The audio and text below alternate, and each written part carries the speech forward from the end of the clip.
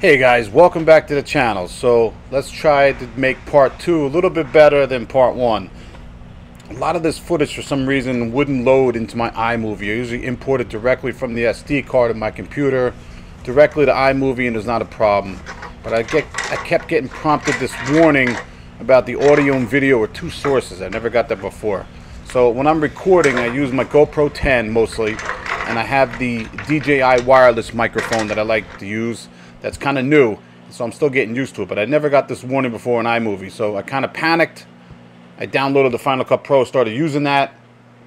I got a lot to learn with that. I'm not ready to release a video using that software just yet. I like to make a nice video, a nicest video as I can. So I'm back to iMovie here. What I did was I downloaded the SD card onto my hard drive rather than directly into iMovie. And I was able to get some of the footage. It didn't come out there's still some sections missing, so I'm not exactly sure why it was such a hard landing. But eventually, I put together about 20 minutes here, or 19 minutes, uh, for part two of this service upgrade that we did in Cranford. So it's an old house, uh, has an old meter.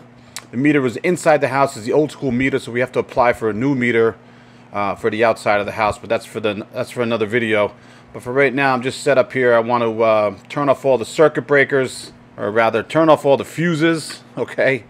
And then um, obviously cut out from the service before pulling that meter because it's an old school meter and you'll see later in the video how um, the meter is set up. There's two sets of line wires, obviously for 240 volts, 120 volts each leg, and then a load side that goes right to the panel. So the, the wiring comes into the meter, but it's not a meter that pushes in. It actually has four lugs at the bottom. Two are for line and two are for load. More on that in a little bit.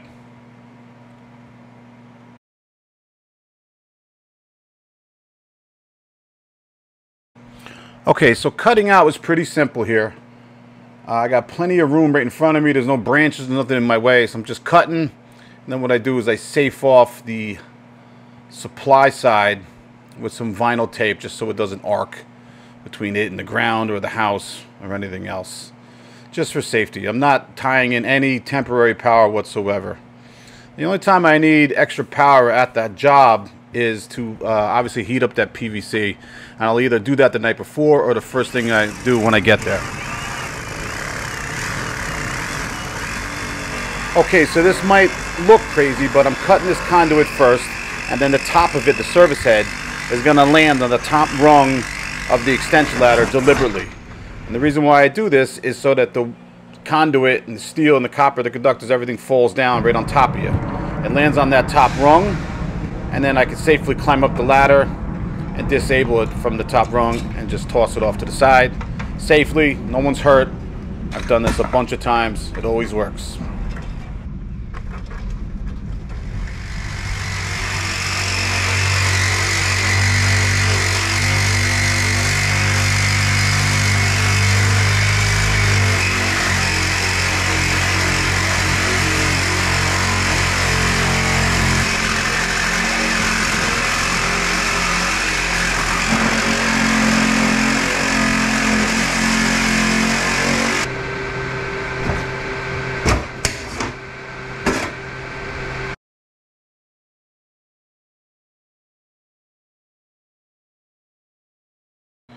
Okay, so inside the meter enclosure, you can see the wires that are looped. One set is the line set, the other side is the load set.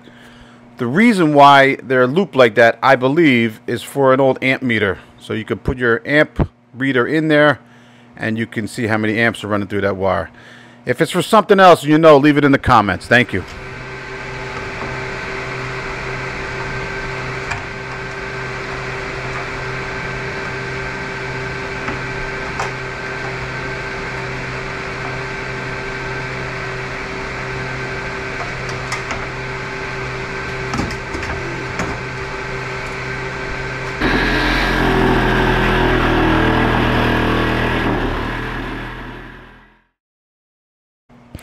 So sometimes, or most of the time, doing these service upgrades on a house like this, there's more work getting rid of the old equipment than there is putting the new equipment in and sizing that up. Just getting this old stuff down. You don't know how it's in there. Here, what they did was they used, looks like uh, old 2x6s of pine, and they nailed two of them with cut with cut nails uh, through the wood and then into the cinder block. That's how they used to do it. And it lasted. This thing was in pretty good condition actually. And then they um, do two by sixes going across, um, you know, west to east there. And so it was well built, and it didn't like you know. There's a few errors in the wiring here. There's a few double tap circuit breakers, and um, I don't know if I included in the first video, but that main lug only panel there up at the top with the four General Electric circuit breakers was actually six circuit breakers there, and it was fed by a 20 amp, 240 volt circuit down in the fuse panel. So uh, somehow that lasted. Obviously, there's not much load on either of those branch circuits. Otherwise, those um, fuses that supplied that main lug only panel would have overloaded over time. There were a lot of uh, spare fuses there, so I don't know. Maybe they did uh, blow a lot of fuses over the course of the uh, lifetime of this panel. Uh, but everything was working when I got there. I'm not sure if there's natural gas at this house or not. I would have to check.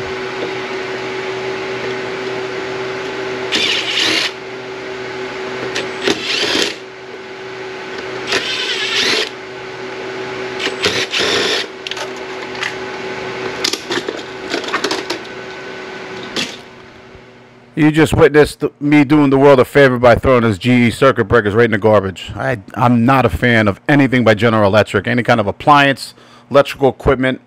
I'm done. It's uh, to me, it's just garbage, especially the electrical panels. I will never install one of those in. I don't like the way they sit on the bus bar. Usually loose, undependable, just crap. That's just my opinion. If you have a different opinion, you like the GE panels, let me know that in the comments. I'll be surprised if there's many comments about that in favor of the General Electric panels.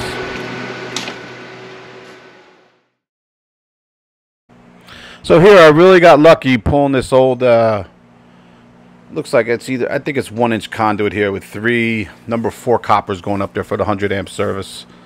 So I get real lucky here getting the whole 90 out in one piece. Very lucky. So I originally didn't know what I was going to do as far as covering up that old J channel, but you'll see in a minute here what I do.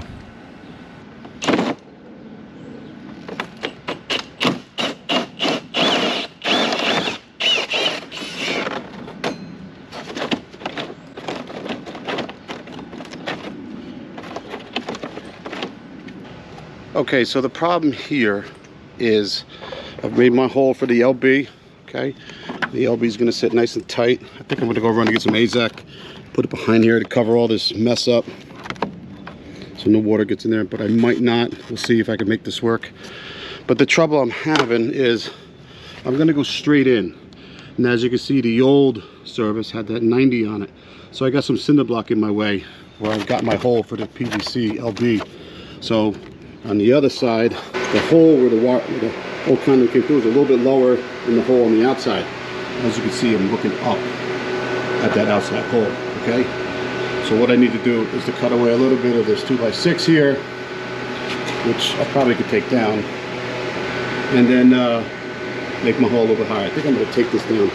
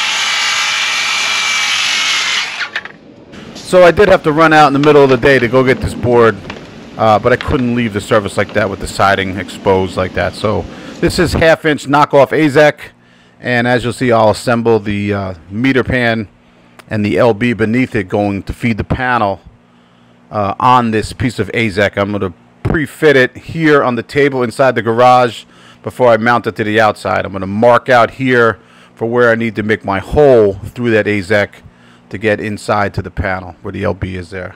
So I'll take the cover off here in a second and you'll see what I mean. I'll use a hole saw just big enough for that LB to fit through and then uh, send it home.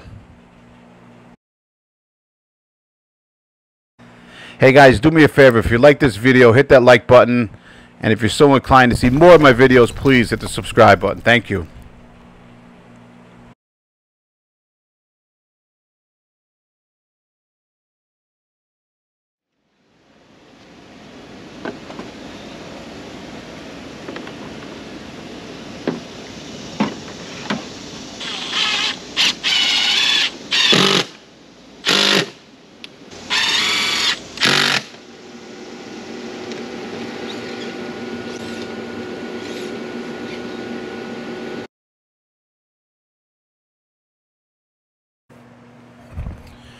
So one of the things I like to do when I'm working with the 2-inch PVC is I try not to use any couplings if I can help it. So I'll get two pieces even if it's a 12-foot run.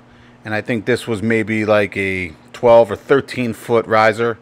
So what I want to do is I want to try to use that bell bottom, the molded coupling built into this stick of PVC as my coupling. And I want to have that in the middle between the top of the meter and where the service head is just just so it looks uh, aesthetically pleasing. It's a small detail. It's not super important, um, but if you do a lot of them and you take pride in what you do, maybe you want to do that.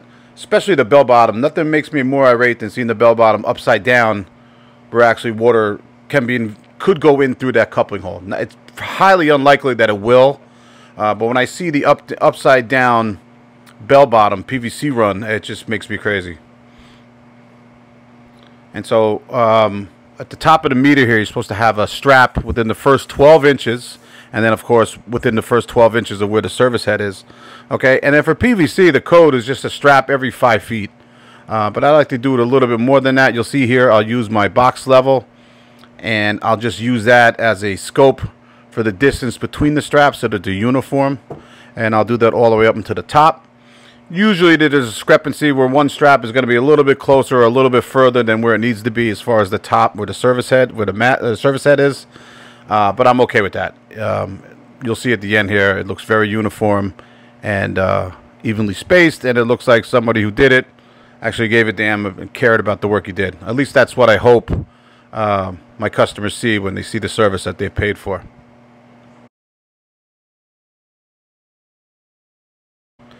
Okay, so here on the inside, what I'm doing is I'm using an auger bit, I'm sorry, a paddle bit here.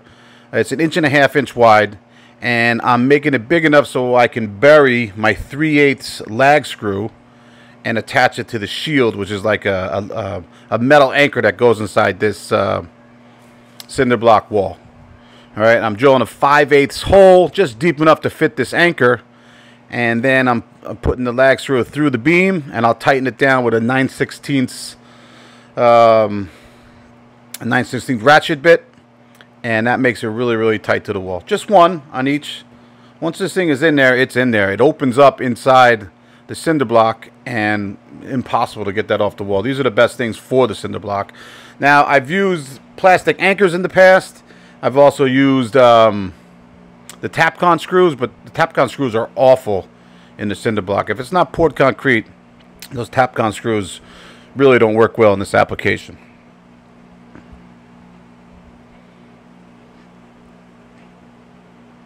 So once I have my 2x4s, uh, the pressure treated 2x4s attached to the cinder block wall, I'm going to mark on my board here where I want to make the, the knockout, I'm sorry, the knockout, the hole saw for that 2-inch PVC from the LB coming into the back of the panel where that cutout's going to be.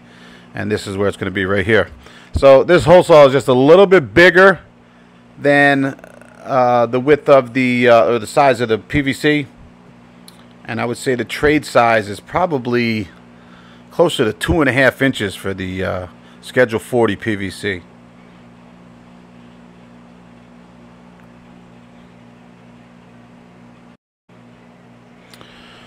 So here's my finished hole for the conduit to come through the board. This board is three quarter inch plywood painted and uh, we attach it to the wall then we make the cutout for the panel.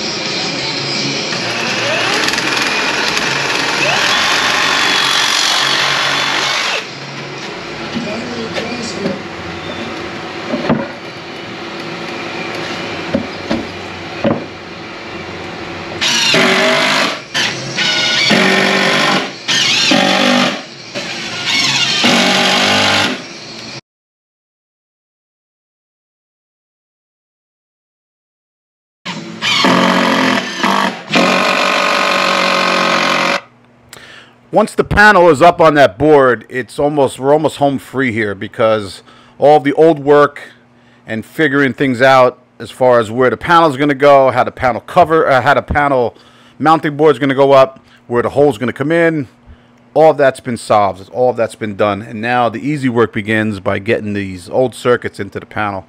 So this house was so old, and I think there's maybe 12 or 14 circuits here when I was done. This house was so old, it was built before central air conditioning was invented.